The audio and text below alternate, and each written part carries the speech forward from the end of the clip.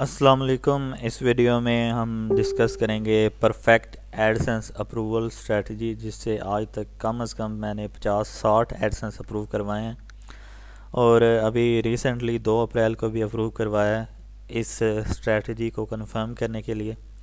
تو جو بھی میں ویڈیو میں بناتا ہوں، میں اپنی طرف سے کوشش کرتا ہوں کہ اسے تب تک نہ بناؤں، تب جب تک میں اسے پریکٹیکلی خود ٹیسٹ نہ کر لوں اور اس کے رزلٹ نہ دیکھ لوں۔ تو اٹھائیس سوری، چھبیس مارچ کو میں نے ایک پوسٹ کی تھی اپنی اسٹریٹجی کی، تو کچھ لوگوں نے اسے مان بھی لیا تھا، کچھ لوگوں نے اسے نہیں مانا تھا۔ تو جن لوگ، جو لوگ انکار کر رہے تھے، ان کے لیے پھر میں نے یہی سوچا تھا کہ میں خود اپنی، میری ایک ایفلیٹ ویب سائٹ ہے یعنی کہ اس کے اوپر ایفلیٹ کے لنکس بھی لگے ہوئے ہیں، اس کے اوپر اپلائی کرتا ہوں ایڈسنس تو دیکھتے ہیں اس کا کیا رزلٹ نکلتا ہے۔ تو اس کا رزلٹ پھر یہ نکلا کہ ہم نے اپلائی کر دیا۔ تو یہ آپ دیکھ سکتے ہیں، اوپر لکھا ہوا ہے فائیو ڈیز مطلب کہ اٹھائیس مارچ کو ہم نے اپلائی کیا تھا اور ٹو اپریل کو وہ اپروو ہو گیا۔ اس لیے یہ آج میں ویڈیو بنا رہا ہوں۔ اگر یہ اپروو نہ ہوتا تو آج یہ ویڈیو میں نے نہیں بنانی تھی۔ تو اس میں جو فیکٹرز ہم نے دیکھے ہیں وہ یہ ہیں کہ domain age quality articles niche S E O theme, traffic images important pages اور ایک نائنتھ پہ بھی ہے S E O sorry, speed optimized تو ڈومین ایج جو ہے، ڈومین آپ نے بالکل نیو ڈومین کے اوپر نہیں اپلائی کرنا، کم از کم وہ تھرٹی ڈیز اولڈ ہونی چاہیے۔ کیونکہ تھرٹی ڈیز سے کم، کبھی کبھی ٹین ڈیز میں بھی اپروو ہم نے کیے ہیں ویب سائٹ پہ، لیکن ریکمینڈڈ یہ ہے کہ تھرٹی ڈیز ہو آپ کی ویب سائٹ کی ایج۔ کوالٹی آرٹیکلز آپ کے آرٹیکلز جو ہیں ایسے ریکمینڈ کرتے ہیں کہ آج کل کے دور میں جو آرٹیکلز ہیں ان کی اماؤنٹ تھاؤزنڈ ورڈز ہو یا تھاؤزنڈ سے تھوڑی سی زیادہ ہو۔ تو آرٹیکل کی اماؤنٹ ٹونٹی تھرٹی ہو جائے۔ لیکن اگر آپ رسک لینا چاہتے ہیں تو پھر آپ چھ سات سو ورڈز تک بھی ٹرائی کر سکتے ہیں، لیکن اس میں ڈس اپروول کے چانسز بھی ہوتے ہیں۔ پرفیکٹ اسٹریٹجی کا یہ مطلب ہے کہ اگر آپ اس اسٹریٹجی کو فالو کریں گے تو اس کے ہنڈریڈ پرسینٹ چانسز ہوتے ہیں اپروو کرنے کے اپروو ہونے کے.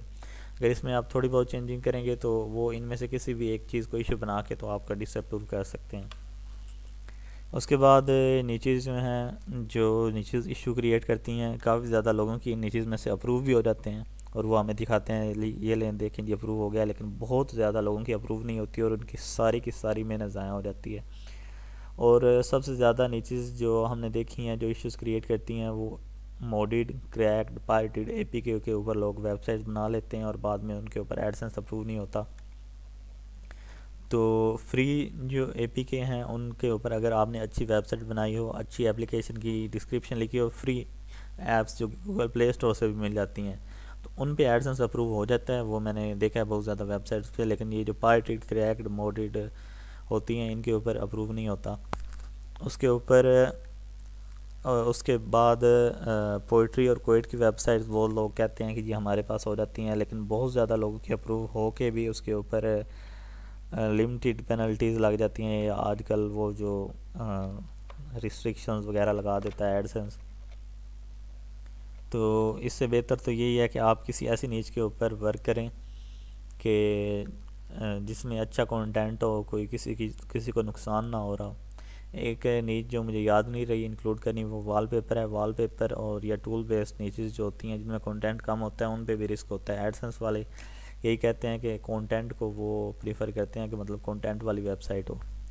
اس کے بعد ڈپلیکیٹ اور تھن کانٹینٹ مطلب یہ جو دوسروں کی ویب سائٹ اسکریپ کر کے اور پھر ان کے اوپر ایڈسنس اپلائی کرتے رہتے ہیں۔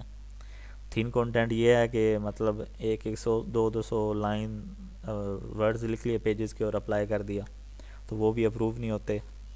اس کے بعد پائرٹیڈ کریکڈ گیمز یا سافٹ ویئر کی ویب سائٹس جیسے اوشنو گیمز وغیرہ، اس طرح کی جو پائرٹیڈ ویب سائٹس ہیں، ان کے اوپر ڈی ایم سی اے کے کلیمز آ جاتے ہیں، اگر اپروو بھی ہو تو بین ہو جاتا ہے۔ تو اس کے اوپر بھی ورک نہ کریں۔ اور بھی آپ نے ایسی نیچز دیکھنی ہیں جس میں کسی کا نقصان نہ ہو مطلب ٹیک کی نیچ ہوگی، جس میں کسی کو لوگوں کی انفارمیشن دے رہے ہیں۔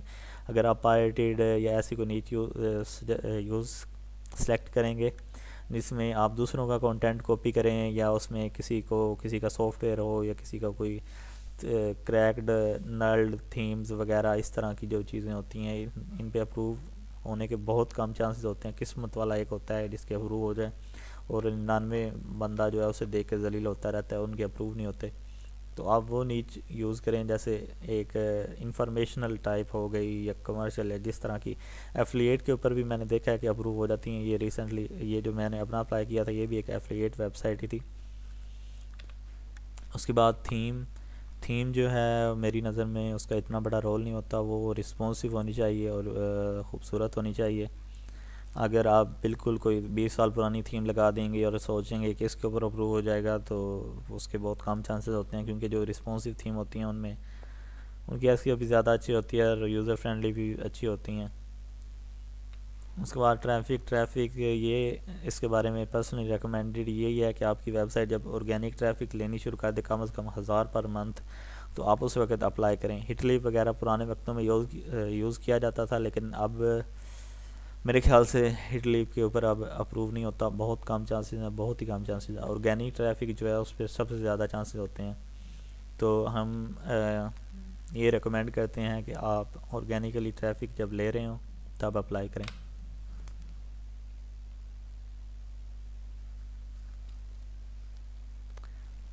اور ایک اور چیز بھی ٹریفک کے بارے میں کہ اگر ٹریفک زیادہ آ رہی ہو آپ کی ویب سائٹ پہ تو آپ کی ویب سائٹ پہ ایڈسنس بھی جلدی اپروو ہوتا ہے۔ اب کچھ لوگ بیس بیس دن، دو دو مہینے انتظار کرتے رہتے ہیں اور کہتے ہیں ہماری ویب سائٹ اپروو نہیں ہو رہی۔ تو اس کی سب سے بڑی ریزن یہ ہوتی ہے کہ ان کی ویب سائٹ پہ ٹریفک بہت کم آ رہی ہے اور جتنی زیادہ ٹریفک آئے گی، اتنے ہی زیادہ چانسز ہیں آپ کی جلدی ایڈسنس اپروو ہونے کے۔ اگر آپ کی ویب سائٹ کی منتھلی دس بیس ہزار ہے تو وہ لگ بھگ دو تین دنوں میں اپروو ہو جائے گی۔ اگر اس سے زیادہ ہے تو وہ کبھی کبھی ایک دن میں، ایک آدھے دن میں بھی اپروو ہو جاتا ہے۔ لیکن یہ سب سے بڑا فیکٹر ہے ٹریفک۔ اس کے بعد امیجز ہیں امیجز کا بھی کبھی کبھی ایشو بن جاتا ہے اور اگر آپ کا بھی ایشو بن جائے بیسیکلی سچی بتاؤں تو میں اس طرح کے کام نہیں کرتا۔ مطلب تھوڑی بہت امیجز جو ہیں چینج کر لیتا ہوں۔ فیچرڈ امیجز کبھی کبھی چینج کر لیتا ہوں۔ ایڈٹ وغیرہ کرنی ہوتی ہے کیونکہ ایفلیٹ میں تو آپ کو پتہ ہے کہ اس میں بہت زیادہ ایڈیٹنگ کی ضرورت ہوتی ہے تو ایفلیٹ ہے تو اس وجہ سے ایڈٹ بھی کی ہوئی ہیں کافی امیجز لیکن بہتر یہی ہے کہ آپ ایگزیکٹ امیج نہ یوز کریں، اس کا فائل نیم اور اس کے اوپر تھوڑی بہت برانڈنگ ہو جائے تو پھر اس کے بھی ایشوز نہیں بنتے۔ تو کچھ ایڈیٹڈ امیجز ہوں تو وہ زیادہ بہتر رہتا ہے۔ اس کے بعد website S C optimized ہونی چاہیے ایس سی کو پلگ ان انسٹال ہونا چاہیے کنفیگر ہونا چاہیے، جیسے یوسٹ ایس سی ہے سرچ کنزول میں ویریفائڈ ہونی چاہیے سائٹ میپ سبمیٹڈ ہونا چاہیے۔ اور کوشش کریں کہ اپلائی کرنے سے پہلے چیک کر لیں کہ جتنے بھی آرٹیکلز ہیں وہ search engine Google search engine میں انڈیکس ہیں۔ اور ویب سائٹ جو ہے وہ سپیڈ آپٹیمائز ہونی چاہیے۔ مطلب اس میں بہت سلو نہ ہو، یہ نہ ہو کہ آدھا گھنٹہ لگ رہا ہو لوڈ ہونے میں اس کا کوئی بیس، پچیس ایم بی سائز اور وہ چیکنگ والے دیکھتی رہ جائیں اور ویب سائٹ لوڈ ہی نہ ہو۔ تو کوشش کریں کہ وہ ایوریج ٹائم تین چار سیکنڈ ہی اور پیج کا سائز جو ہے وہ ایک ڈیڑھ ایم بی کا ہی ہو، اس سے زیادہ نہ ہو۔ تو اس کے بعد امپورٹنٹ پیجز جو ہیں وہ آپ کو بتا ہوا contacts privacy policy terms of service اس طرح کے جو پیجز ہوتے ہیں اباؤٹ اس وغیرہ وہ بھی کریٹ ہونے چاہیے۔ تو اسی کے ساتھ ہی آج کا لیکچر اینڈ ہو رہا ہے۔